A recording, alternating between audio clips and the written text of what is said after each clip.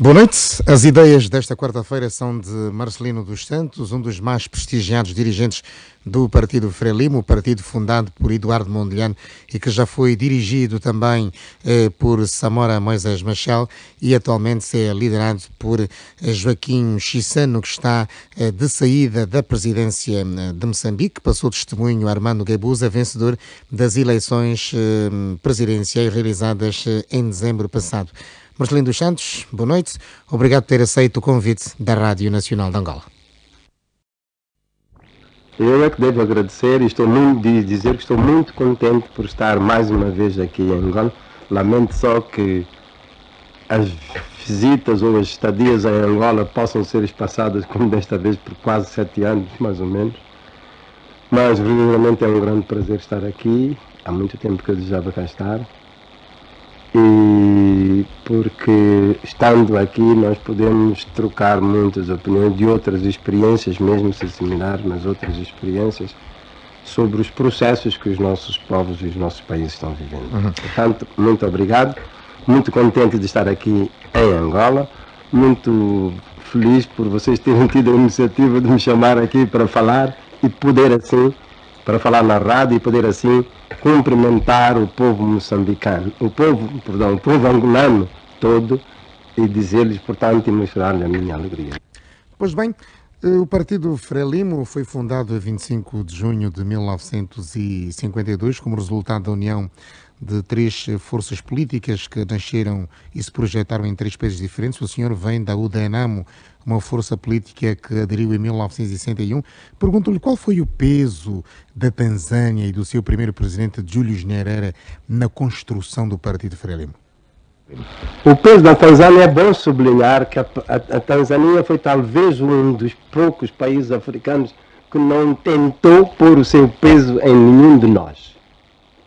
Nenhum de nós, Soube apoiar, nenhum de nós quer dizer, nenhum de nós movimentos de libertação nacional uhum. que decidiram estar na Tanzânia. Mais ainda, a Tanzânia teve um papel importantíssimo porque soube compreender as preocupações dos nacionalistas, que era realmente de lutar para a liberdade nos seus próprios países. E então, como é que ele se engajou nesta via?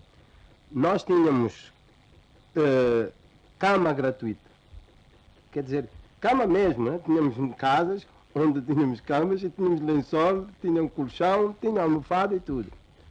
Tínhamos comida gratuita. Ou nos davam comida para uma semana, ou nos davam dinheiro para aguentar uma semana. De modo que nenhum de nós sentia a necessidade de trabalhar, como aconteceu em vários outros lugares, outros países africanos, para poder ter um pouco de dinheiro para viver e então, na prática, significaria roubar um pouco do nosso tempo ao trabalho da luta de libertação nacional para poder sobreviver fisicamente, digamos. Comer. A Tanzânia deu isso a todos os movimentos. Júlio Nyerere era um verdadeiro alimo. Era assim, um verdadeiro um alimo professor. professor. Exatamente, era. Mas está a ver esta visão e este sentido das coisas que teve Nyerere que eu não vou mencionar outros países, mas enfim, que há, outros países houve que não foram capazes de entender as coisas desta maneira. Falemos agora do fundador da Frelimo. Eduardo Mondlane era um democrata? Não, um, um de, grande e grandíssimo democrata. Eu, nós chamamos a Mondlane um racionalista moderno, mas um verdadeiro racionalista moderno. Quer dizer, um homem que continha, que, que possuía dotes de humanísticos alto, em grande nível. Como é que o Salazar o via? Hum, Salazar, o que, é que pensava Salazar? Salazar o via tanto que foram eles que o assassinaram, né? Era a maneira como Salazar via. Um grande perigo para o poder português, para o colonialismo português. Mondlane tinha um grande, grande conhecimento do país do país culturalmente falando. Conhecia a cultura por, por tê-la vivido. Não esquecer que ele foi, até 12, 14 anos, ele foi pastor. Uhum. Só depois disso é que começou a estudar. E ele tinha, era filho de chefe. Também sabia o que é poder. E muito cedo ele, ele bom, visionou a validade de estudar. E teve uma, o pai morreu cedo, mas a mãe ajudou muito a estudar. Dizia aquela coisa que a gente diz assim: vai lá descobrir o feitiço dos homens brancos. Mas Mondlane possuía esta grandeza, a tal ponto que nós às vezes dizíamos assim, mas, por exemplo, você queria estudar. Mondlane deixava, assim, vai lá estudar. A gente dizia, mas para que camarada presidente? Ele precisa, a gente precisa desse. É, é preciso estudar também. Ele tinha um, um grande apreço à elevação contínua do, do nível científico de cada um. Falemos agora da vida política eh, em Moçambique nos dias de hoje, com a Frelimo e a Renamo a disputarem, digamos assim, eh, um espaço de maior afirmação dentro da cena política moçambicana. A Renamo, eh, nos últimos anos, tem aparecido com alguma força, perdeu, é certo, estas terceiras eleições gerais, mas olha-se cada vez mais para a história da criação da Renamo, depois, fundamentalmente, do processo multipartidário no seu país. A Renamo, pergunto-lhe, surgiu de uma fragilidade da Frelimo ou foi, como reza a história, obra uh, de uma criação uh, do apartheid para derrubar uh, o regime comunista em Moçambique? a Renamo, é bom ficar bem claro, aqui em Angola, que a Renamo é uma construção a partida, em 1977, 78, é uma construção do regime da Rodésia do Sul. Jan Smith. Uhum. Por quê? Porque eles se disseram a si próprios o seguinte: bom, mas agora Moçambique vai ficar independente. Antes havia aqui Portugal, tínhamos ali a África do Sul, e nós estávamos aqui em Moçambique, como na Rodésia, à vontade. Mas agora não. Agora Moçambique vai ficar independente. O que, é que vamos fazer? Vamos criar uma rede de informação clandestina dentro de Moçambique. Primeiras preocupações de Ken Flower, que era o homem a quem foi dada a responsabilidade uhum. de construir, de, bom, de apresentar o projeto. A Renam, portanto, é uma construção de, para isso. Mas mais tarde, ele, em vez de uma simples rede de informação clandestina, constrói uma força desestabilizadora. Em 78 tem as, as, as primeiras. É bom também lembrar que no início não era Renamo, era África Livre. Mas, que papel, ou quem era Afonso de Jacama na Feira Livre? Era, uh, portanto, uh, Jacama era um, um moçambicano, mais nada, que em 74, como muitos, depois do golpe de Estado, aderiu a Frelimo. Uhum. Mas ele uh, tinha uma. Parece que ele tem a sexta classe ou quinta classe, eu não vou dizer muita coisa difícil de gente saber, né? Não é difícil, mas enfim, é preciso ir procurar. Uh, ele uh, foi escolhido, depois de fazer o treino militar conosco, ele foi escolhido para a logística da, da, da força da Frelimo que estava situada na beira. Uhum. E aí ele roubou. E, e porque houve essa, uh, esse crime, uh, ele foi posto num centro de reeducação de Sacuso, na Gorongosa. E isso já, portanto, depois de 1974, depois da independência, 1975, já nos anos 77 78. É lá que o exército, deliberadamente, o exército de Ian Smith, entrando dentro de Moçambique, foi libertar todos aqueles que estavam no centro de reeducação de Sacus. E entre eles da Cama. E depois, naturalmente, foi lá julgado, apreciado, etc. Foi decidido. Primeiro foi escolhido um outro, André Matsangaíça. Esse foi o primeiro chefe desse grupo que, como eu ia dizendo, não se chamava de Renam, chamava-se África Livre. Uhum. O segundo nome que a Renam teve foi MNR, Movimento Nacional de, de MNR, Mozambique National Resistance. Provavelmente que alguém lhes diz, Ei, cuidado, isso aí em inglês vai ser gato escondido com o rabo de fora. É bom pôr isso em português. Então puseram Resistência Nacional de Moçambique Renam. Quando os embates, portanto, esse, assim, e tem, os primeiros combates têm lugar ali contra nós pela Rodésia do Sul. Uh, portanto, a Renam é uma construção do, da Rodésia do Sul, do regime de Ian Smith. A Renam é, foi, permanece um instrumento do estrangeiro. Por isso, eu digo-vos com toda a sinceridade, é extremamente difícil fazer unidade com Jacama.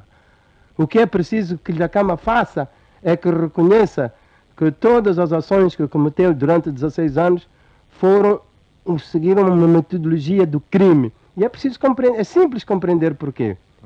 A África do Sul nunca pensou fazer da Renamo uma alternativa para a Frelimo. Por quê? Porque o apartheid nunca reconheceu que preto podia dirigir um país.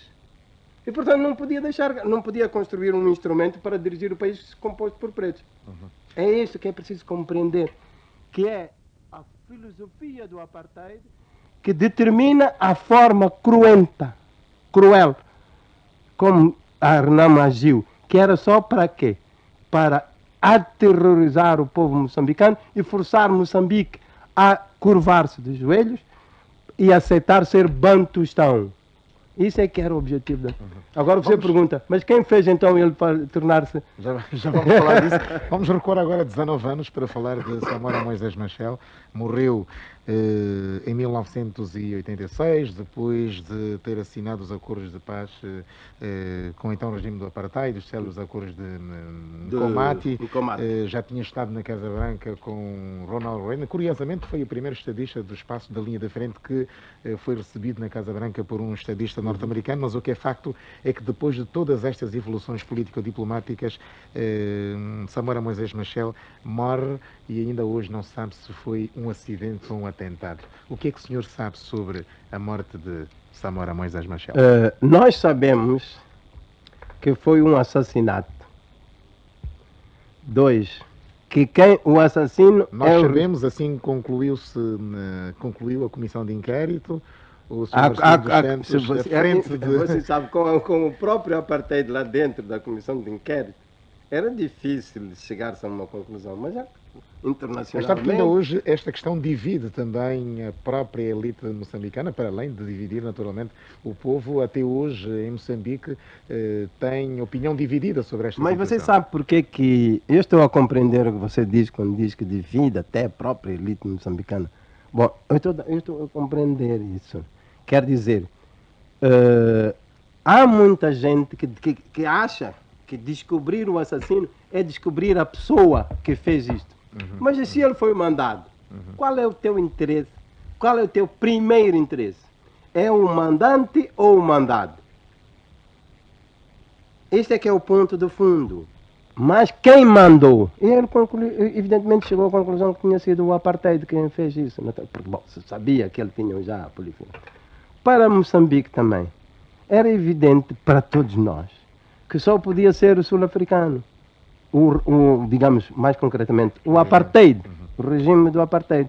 E é isso que nós declaramos publicamente. Mas as, aqueles que você diz que não estão certos querem saber qual foi a pessoa que fez a coisa. Mas Agora, a, quem a, a, é que poderia fez ter... um aproveitamento político desta situação em vários atos eleitorais, hum. eh, chegou, digamos, a pôr em causa os resultados deste inquérito, tendo mesmo eh, sido sublinhado que altas figuras do Estado moçambicano ligadas a Frelimo estavam envolvidas pois. no assassinato hum. a Samora Machel. Não é hum. é verdade?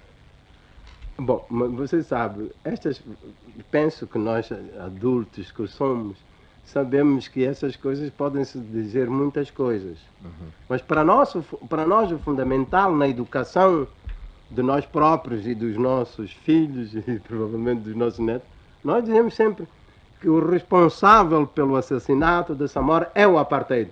Quem ele utilizou, ok, de acordo, vamos lá ver. Mas que é um apartheid.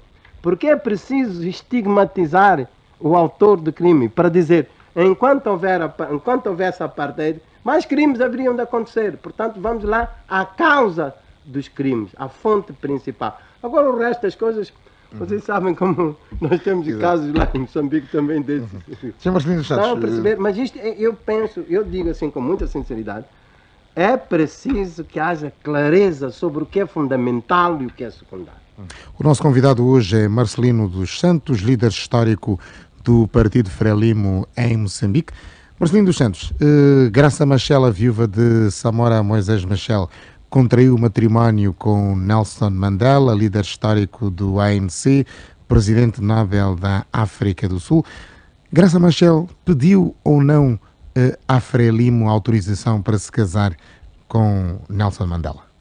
Bom, nestas coisas, naturalmente que Graça Não foi necessário pedir autorização a Frelimo. Não, não, não, a autorização, quer dizer, entre nós isso não existe. Mas houve várias reuniões, digamos assim, eh, no interior do Partido Frelimo por causa desta posição. Para discutir de... isso, não. Mas Se tanto houve sabemos, reunião entre grupos, Uhum. quer dizer, vamos lá ver, é uma senhora que perdeu o marido. É e que normal não era, que ela não era um marido qualquer, não era um marido qualquer. Não era um marido qualquer, mas era... Era o presidente de Moçambique. A camarada Janete Monjane Uhum. Não casou depois de ser viúva, não casou outra vez. Mas estávamos noutra época, não é?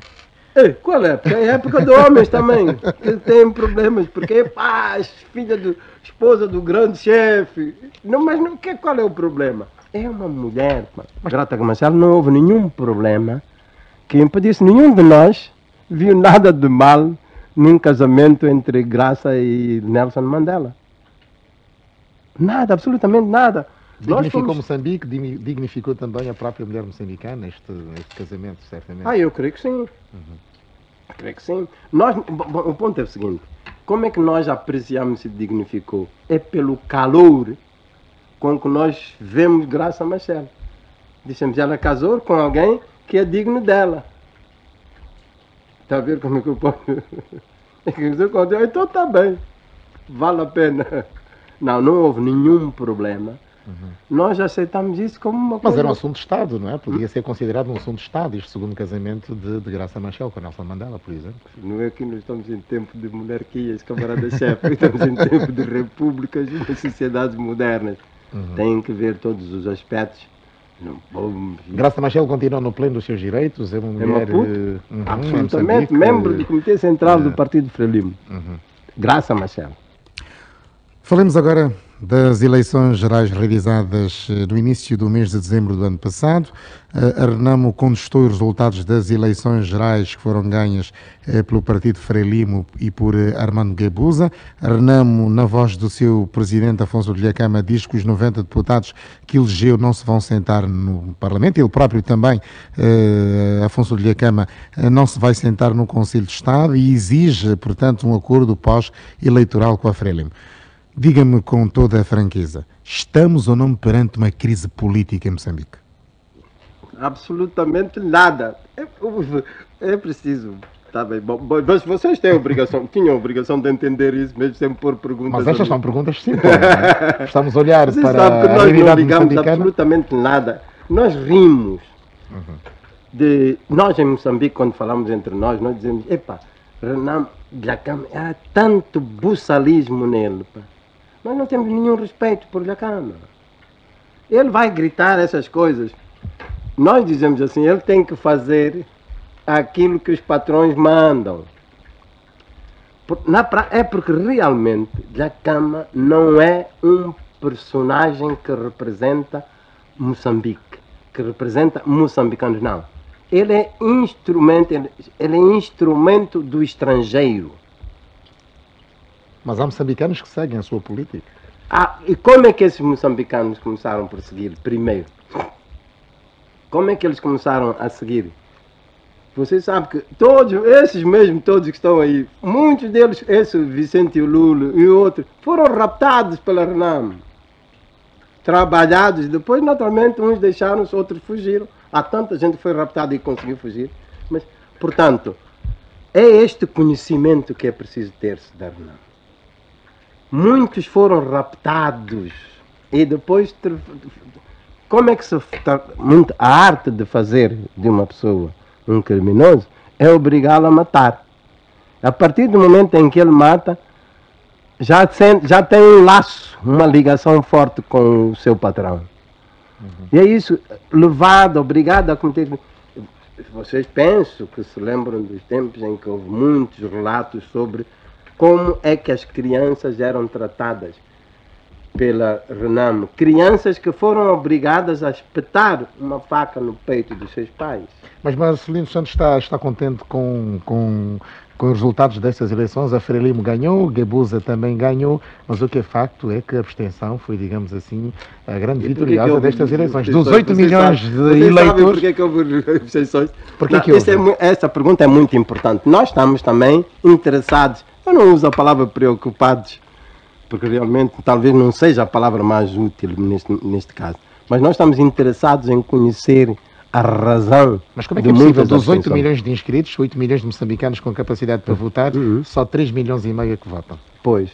É por isso que disse, em- estamos interessados em conhecer o porquê disso, mas não estamos preocupados. O que é que houve? Você viu qual foi o resultado? Desses que votaram, deram-nos 160 deputados e para a RENAM 90. 90. Uhum. Agora você já vê, o que é que isso significa? Primeiro é que realmente os membros da Frelimo votaram. E isso é muito importante para a segurança do próprio partido. Agora, o porquê de os outros não terem ta- votado é interessa- nós estamos interessados em conhecer e vamos fazer um trabalho. Neste momento há muitas eh, sugestões daquilo que podem ser eh, as razões, as causas. Mas nós dizemos assim, não, por enquanto não vamos falar nada. Nós estamos à espera do, da declaração do Conselho Constitucional para indicar que as, as eleições foram válidas, etc, etc, etc. Depois disso, vamos passar para a tomada de posse, que vai ser uma grande festa nacional. E depois, então, vamos continuar, que já começou, o processo de balanço sobre a- a- as eleições. Não somente sobre isso, mas também em particular. Já vi Joaquim Chissano falar, eh, falar sobre isso, mas pergunto-lhe eh, neste momento qual deverá ser a posição de eh, Joaquim Chissano. Ele sai da, da chefia do Estado moçambicano, vai continuar no partido. Ele vai continuar no partido até no decisão outra nova decisão do partido. O partido quer que Joaquim Chissano permaneça na liderança. Na- Naturalmente, ele, por eh, direito próprio, ele é presidente do Partido Frelimo. E enquanto o partido não disser que é necessário que haja um outro presidente ou que o do partido ou que o presidente do partido deve ser o mesmo Mas opinião, o que é Armando o que, é que estará, hum, digamos, eh, pesado, hum, o que é que terá pesado nesta decisão de eh, Joaquim Chissano de não, digamos, se candidatar a um terceiro mandato? A Constituição lhe permitia isso? O que é que acha? acha a que- Constituição permitia, Uhum. mas permitia, talvez por um lapso de redação, porque normalmente não era isso. Todos nós tivemos que reler bem a Constituição, ver o que é que está escrito, as palavras que lá estavam, para ver que efetivamente o camarada presidente Chissano, se tivesse Está querer dizer querido, que, que havia um poderia fazer mais um terceiro mandato. Mas o espírito não era esse. Uhum. Por isso todo mundo concordou e o próprio camarada presidente Chissano concordou que o espírito não era esse e que, portanto, ao fim deste mandato, então era bom ele retirar-se. Voltemos, voltemos às eleições eh, gerais realizadas em dezembro eh, no seu país. Eh, A comunidade internacional validou estas eleições, apesar de ter considerado algumas irregularidades que, de alguma maneira, eh, não comprometeram os resultados dessas eleições. Lá esteve, mais uma vez, o Centro Carter, do antigo presidente norte-americano Jimmy Carter. Como é que vê, digamos, o comportamento do Centro Carter na observação das eleições que são realizadas nos distintos países africanos? Bom, o Centro Carter, quando das eleições autárquicas, deixou muito a desejar. Bom, isso são coisas que vocês sabem que assim, não dá para falar muito em público assim, mas o facto é que nós não vemos com, com muito bons olhos eh, esses comportamentos e muito menos, por exemplo, a União Europeia veio agora dizer é preciso que vocês alterem a vossa lei eleitoral. Ei, mas é quem a União Europeia para nos ditar isso? Só porque dá dinheiro? Ah, nós temos, estamos convencidos que é preciso uma vez por todas dizer a esses amigos nossos, entre aspas, que já acabou o tempo do colonialismo, o tempo dos moleques. Agora nós somos livres e queremos estar em estado de liberdade e de igualdade com todos os outros povos. Não podem vir impor-nos.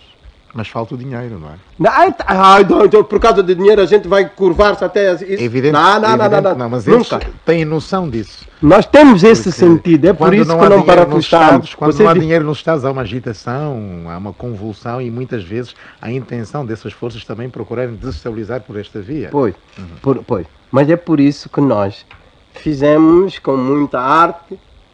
Felizmente que aqueles, por exemplo, se fosse eu, ah não, as coisas seriam muito, seriam feias. Mas felizmente que nós conseguimos Como é que pôr- seria se fosse Marcelino? Ah, fazia estragos. Dizia diante deles isso que estou a dizer aqui. E resolveria Que o problema? nós somos livres e não queremos mais ser moleques de ninguém. E não seremos. Na legislatura passada, o presidente Joaquim Chissano, penso eu, por duas vezes ou mais foi ao Parlamento e os deputados da Renamo não o deixaram falar. Portanto, como é que é possível o chefe de Estado, um estadista, guardião da República, no Parlamento e os deputados da oposição boicotarem a intervenção do chefe de Sabe Estado, a é primeira que- figura do Estado? Como é que isso é Sabe o que possível? é que alguns de nós dizem? Eles têm sorte porque estiveram no Chissano. Se fosse um presidente como eu, mandava prender essa gente que faz barulho na Assembleia. Bom, mas felizmente que o povo moçambicano, artista como é, em vez de pôr lá Marcelino, pôs Chissano, que foi capaz de, de uma maneira muito artística, assegurar a, a, a marcha sobre o- as águas turbulentas. Mas é verdade. O senhor já teve mais ambições também, queria ser presidente de Moçambique. Quem? Marcelino dos Santos. Nunca. nu- Bom, o meu problema nunca foi de ser presidente.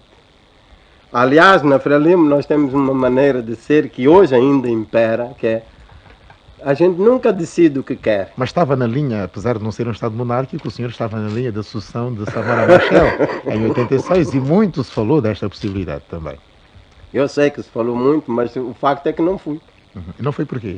Eu sei lá, agora vai perguntar àqueles que não me elegeram. Mas houve reunião do Biro Político, houve sucessivas reuniões do Biro Político para se encontrar, Sim, digamos, o sucessor de, de Samora eu- Machel. Talvez eh, eu possa também explicar que. é, um dia vou explicar bem, mas é bom entender. Preparar as suas memórias também. Ah, sim, sim, sim, sim, é uma E exigência, uma fazer- necessidade. fazer referência a isso. Eu então vou fazer referência a isto, mas fiquem, fique bem claro, desde já, que aquilo que aconteceu, aconteceu corretamente. Quer dizer, o facto de eu não ter sido presidente quando Mondlane morreu, o facto de eu não ter sido presidente quando. Mas quem é que estava, quem é que estava em melhor posição? Marcelino dos Santos, Mário Machungo, eh, Armando Guebuza, Samora Moisés Machel? Era Samora Samora, Moisés Machel. Samora Moisés Machel, eh, Joaquim Chissano, perdão. Quem é que estava, digamos, eh, eh, melhor posicionado, digamos assim, para suceder a Samora? Eu, eh, o ponto é o seguinte, sem de- desvendar, sem ir a muitos pequenos pormenores, eh, o ponto é que todos nós votamos por Chissano, membros do Biro Político, porque a decisão saiu dali do Biro Político. Todos nós votamos por Chissano. Não houve um só que tivesse votado em alguém mais. Voto secreto? Eu não, não, não, não. Não creio que tenha sido voto secreto. Já não se lembra. Mas não, não creio, porque nós creio que na altura não tínhamos hábito de fazer eh, eh, vo- votações secretas. Talvez tenha sido. Mas o ponto de fundo é que todos nós votámos por Chissano. Gostaria de agora eh, passar para um outro campo também que considero importante, em relações político-diplomáticas entre Angola e Moçambique. Lembro uma vez, Samora Moisés Machel, numa das suas primeiras visitas a Angola, ter dito que Angola e Moçambique não precisavam de embaixadas para se relacionarem. O que é facto é que depois eh, houve necessidade eh, de se abrirem eh, chancelarias nas duas capitais e naturalmente penso que aí, por esta via, tudo ficou muito mais fácil, apesar, digamos assim, deste estado considerado demagogo de, de Samora Machel. Mas em relações, pelo menos aquilo que passa na opinião pública, é que as relações entre Angola e Moçambique não estão num clima muito bom. E eu que estou que é convencido que se disso. Não, quer dizer, não é muito bom. Não são. a- Não sei se é o clima é bom, porque eu quando chego aqui estou em casa, né? É mas eu acho que as nossas relações têm que ser mais profundas. O que é que Não está a podem faltar? ser O que é que só- está a faltar? Hã? O que é que há? é que os nossos partidos, em primeiro lugar, os nossos partidos se reúnam e discutam os problemas fundamentais dos nossos povos. Muito que não se reúnem com regularidade, como pois, e, e, sobretudo não Isso discutem os problemas fundamentais dos nossos o povos. Estado, distancia os Estados esta ausência de reuniões entre a Frelimo e o MPLA. Não se esqueça que eu estou a fazer, numa certa medida, uma crítica a mim próprio, porque eu, claro. eu sou membro do Comitê Central. Uhum. E não sou membro pequeno, como se imagina. Mas eu penso que isso tem que acontecer. E eu digo mais uma coisa: o tempo presente deveria ser suficiente já, já, para obrigar os nossos partidos a, a assumirem esse posicionamento. Nós estamos num, numa, num tempo que se qualifica de tempo de globalização, que é o capitalismo, certamente, não há dúvida nenhuma. Não sei exatamente como, não sei se posso dizer que é o Estado Supremo.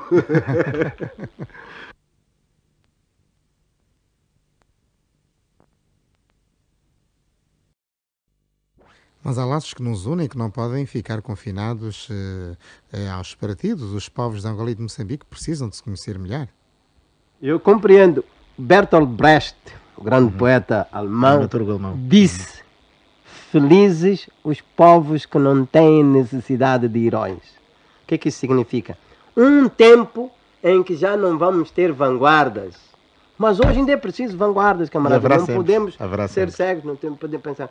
Portanto, os nossos partidos têm que assumir a responsabilidade deste tempo, um tempo que ainda exige vanguardas. Uhum.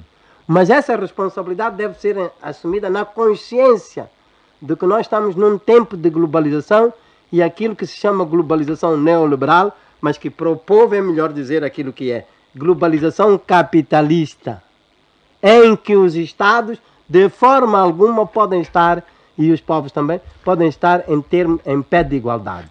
O senhor veio a Angola em missão de bons ofícios ou, se quisermos, em missão diplomática pelo seu país? Quer dizer, não diria que vim fazer democracia, de, mas vim, sobretudo, diplomacia. com esse sentido de que os nossos partidos têm obrigatoriamente que assumir mais fortemente a, a, a, a o debate sobre os problemas fundamentais que nós vemos e, e dos quais não pode ser afastado a análise da globalização. E para mim isso é fundamental. Porque é definir. Nós sempre aprendemos, é preciso definir o tempo em que estamos. E agora é o tempo da globalização. Angola e Moçambique estão na mesma frente, estão na União Africana, estão na sim, SEDEC. Sim, mas é preciso ir com esta consciência, com uma consciência clara sobre isso. E a consciência clara é que, neste tempo de globalização, e agora toma nota bem daquilo que eu vou dizer. Hein? Todas as classes e camadas sociais dos nossos países têm interesse em unir-se para fazer face a essa globalização. Que ela se apresente na prática, no dia a dia, sobre, sobre a forma do Fundo Monetário Internacional e do Banco Mundial, não importa. Mas é a globalização. É a organização capitalista do mundo que compreende três grandes blocos: o bloco americano, com Estados Unidos, Canadá, Austrália, não sei quem mais. Tá? Diga-me com, com. Não, mas deixa-me acabar, porque eu estou a fazer trabalho político. é preciso dizer o seguinte: isso, por um lado, o bloco europeu, que é a União Europeia, e o bloco japonês, que eu não sei quem está, aqueles da Ásia dizem sempre: não, o Japão está sozinho. Bom, admitamos. Mas o ponto é que cada um desses blocos são concorrentes uns com os outros.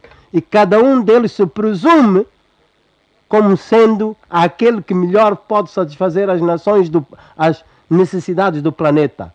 Quer dizer, muito concretamente, um, uh, assegurar o melhor tratamento aos recursos humanos de todo o planeta, assegurar o melhor tratamento aos recursos naturais de todo o planeta e assegurar o melhor tratamento aos mercados do consumo do planeta. Cada um deles pretende como sendo melhor. Quer dizer, a concorrência entre esses três grupos é uma concorrência que visa a hegemonia do planeta.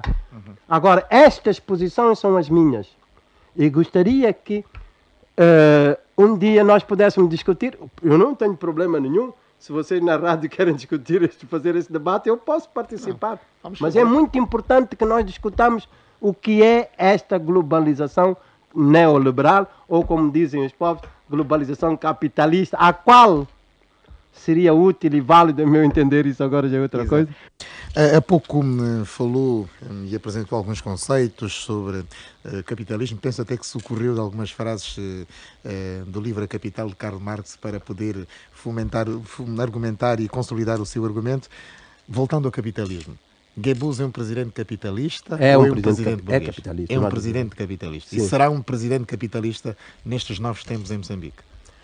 Eh, você sabe é que lem- lembrar aquilo que eu disse, por isso Gostaria eu que disse, enfatizasse isso. Goebbels é um presidente capitalista. sim, sim. É? em todos, não, ele é capitalista.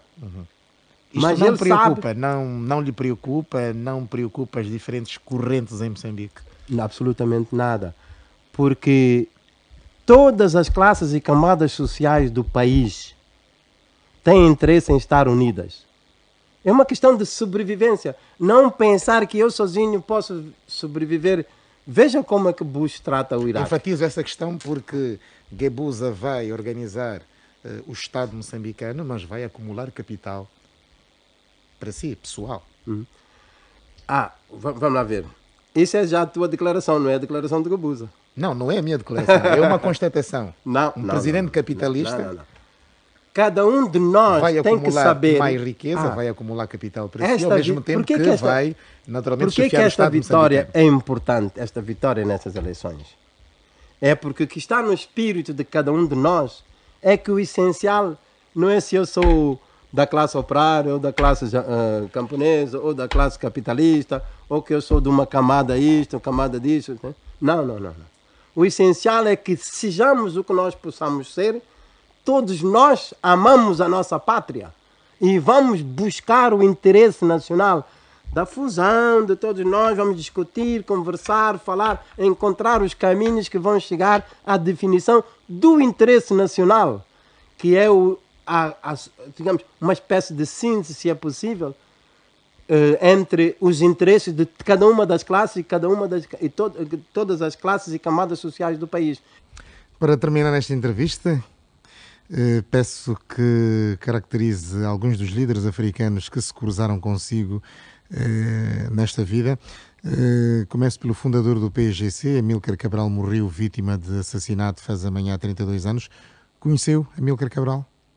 Amílcar Cabral foi realmente um, um homem com grande capacidade para mobilizar. Onde é que o conheceu? Onde Ah, é em que o viu pela primeira vez? Em Conheci- Lisboa. Conheci em Lisboa. E com Quando que eu impressão cheguei, é que ele lá ficou? estava, já ele era estudante. Eu cheguei em 47, outubro.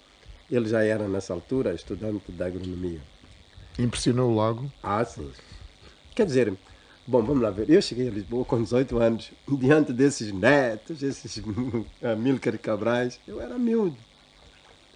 É, a gente estava assim, depois... Eu até não, né? Agostinho Neto nasceu em 22, o senhor nasceu em 29. 29 também está certo. Bom, mas é sempre- é sempre uma diferença, né? Sete Amílcar anos. nasceu em 24. Exato. Uhum. E mesmo Mário, Mário parece que nasce Mário em Pinto 25. Andrade em 1925, 26, 25, 26, por aí. De modo que eles eram mais velhos do que eu. Depois, eles tinham uma grande vantagem sobre mim. Eu não percebia nada de inglês nem francês. Continha, era continha. Bom, a única coisa que eu fazia era ler tudo aquilo que havia em português. Mas li um livro que é muito importante, estou procurando aqui, ali, não importa onde. O Processo Histórico de Zamora. Hum, Clemente Zamora. Clemente Zamora. que é um, foi um livro fundamental para mim. Bom, mas, então, mas eu não conseguia ler essas coisas de Marx, porque estava, não havia em português, pelo menos naqueles anos de 47, 48, 49, 50. Agostinho Neto. Agostinho Neto.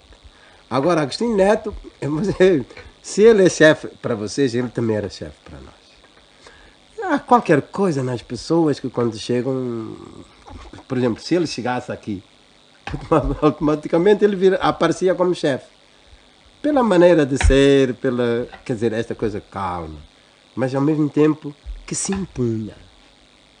Você sabe quando eu digo neto, é para que você queria, quer não, você sentia que havia ali alguém que, da mesma maneira, quando, por exemplo, Mondlane.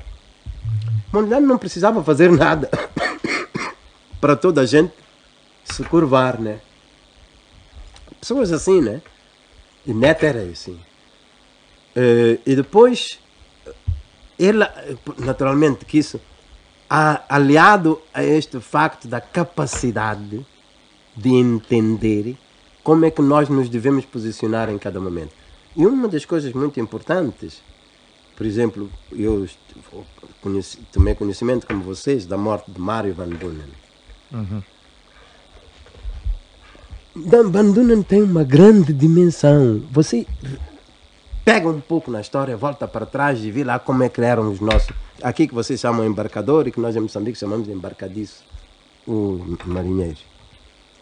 Epá, foram homens que souberam, com o nível que eles tinham de é, formação académica, africano. Uhum. que souberam assumir o tempo de então.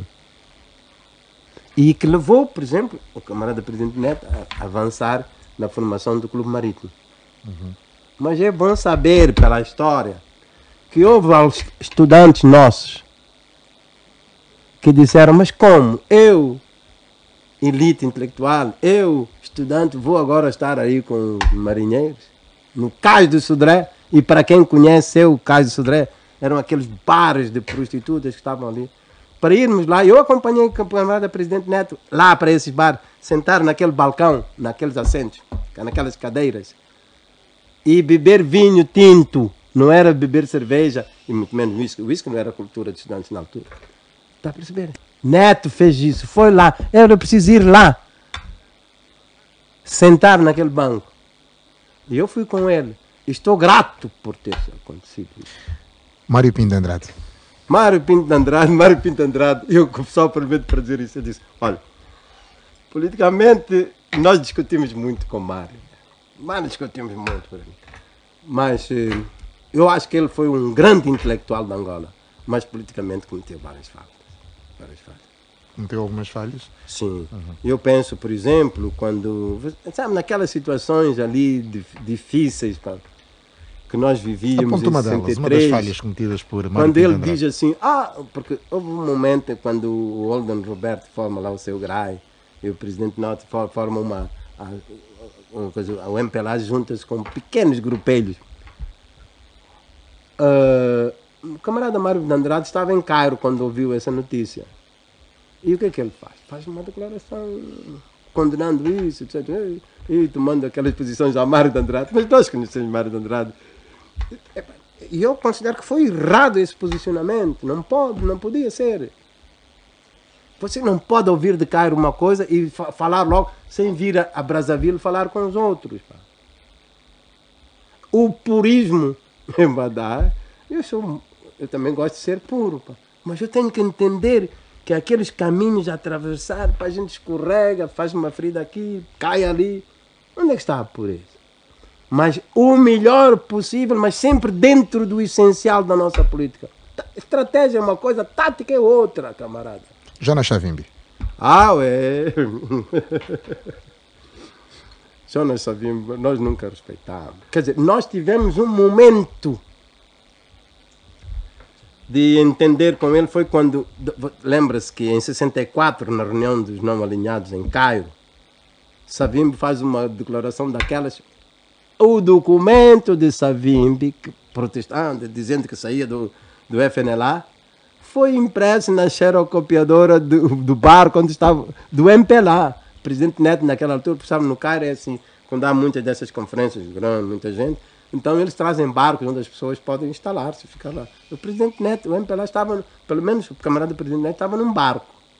E a xerocopiadora estava. Eu vi a, impressa, a imprimir o documento de Savimbi. Estávamos muito contentes por fazer barulho contra o Holder. Mas eu estou convencido hoje, estou convencido que ninguém daquele chefe de Estado ligou aquilo que o Savimbi disse. Mas o ponto do fundo foi que ele fez aquele barulho e saiu do FNLA. Para nós isso era positivo. Mas ele depois sai com o MPLA, vai para Brazzaville e nós estávamos convencidos que, ia, que ele ia para lá para. Tem memória tudo isso, fresquinha. Hã? Tem memória de tudo isso. Sim, sim, sim, sim. Nós estávamos convencidos que ele vinha dar o salam, já tinha feito acordo. Foi preciso vir para dizer: Ei, cuidado, nós não fizemos nenhum acordo com ele, ele não quis, foi para aí, foi fazer a vida dele. E ele vai para a Zâmbia, e é lá onde ele vai, com o apoio do, da Zâmbia, e presidente Kaunda, naturalmente formam o, e o Capuepa, o ministro dos Negócios Estrangeiros, formam a UNITA. Está a perceber? Ah, é bom saber o seguinte: Mondlane, presidente Mondlane, porque eu fui encarregado, pensávamos que ele ainda vinha do lado, já estava com o MPLA.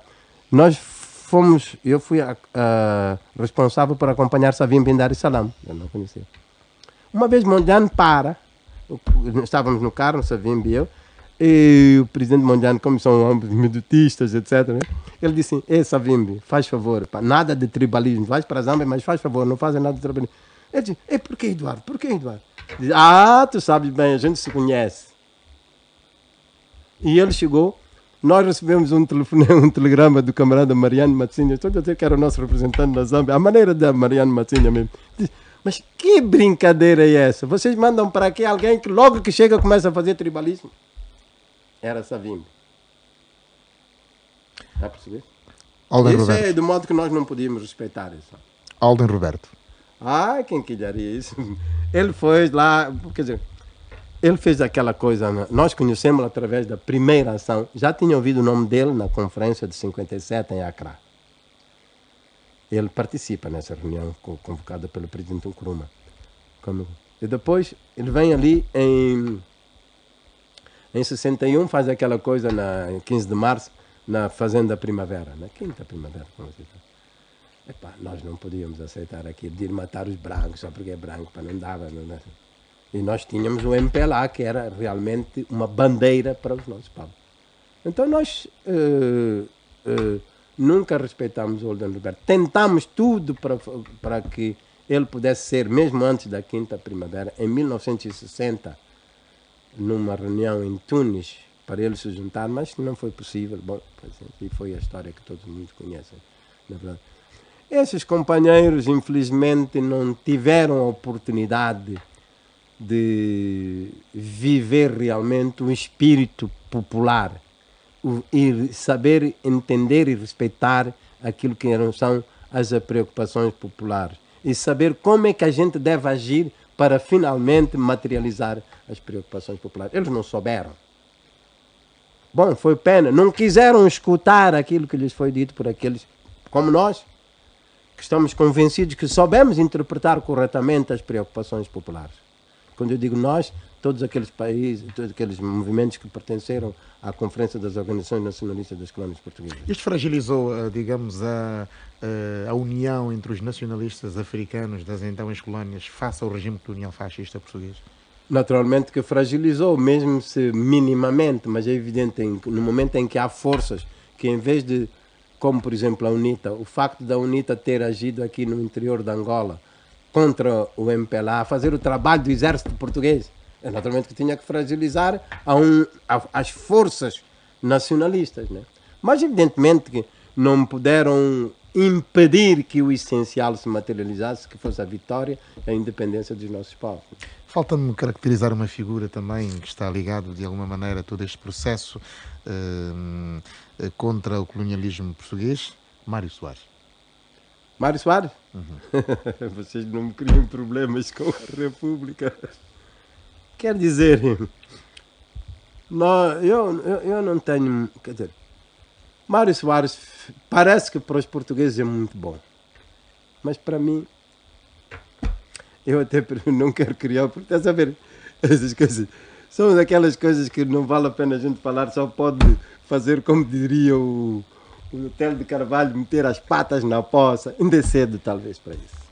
Marcelino dos Santos, obrigado por ter falado em exclusivo à Rádio Nacional de Angola. Prazer, foi todo nosso. Taça Aquidila. Taça Aquidila. Canimambo.